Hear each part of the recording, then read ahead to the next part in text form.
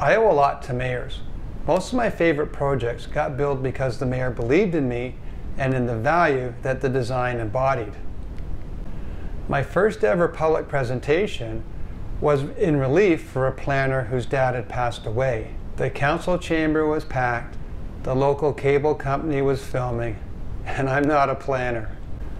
The mayor took me aside to brief me on the situation, and the soapboxer who was attending and known for his disruptive and abusive behavior. Sure enough, the fellow launched into a tirade, and none of my responses were satisfactory.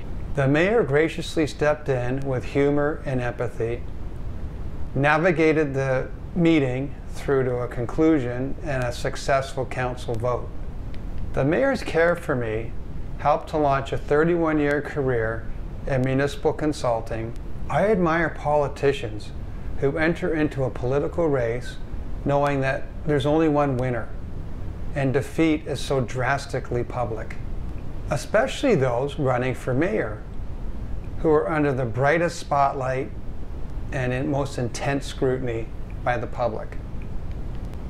In my opinion, candidates show the rest of us how to thrive using a growth mindset, to explore their potential and learn from defeat, to not let defeat characterize them, but instead to strengthen them. I regret not taking more time to get to know the mayors in the communities within which I worked.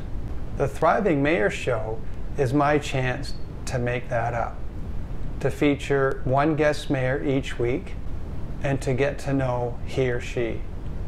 My guest mayors will share stories of thriving in this most public, important, and challenging role. A new episode of the Thriving Mayor Show will air every Wednesday starting December 2nd, 2020. Please join us at thrivingmayor.com.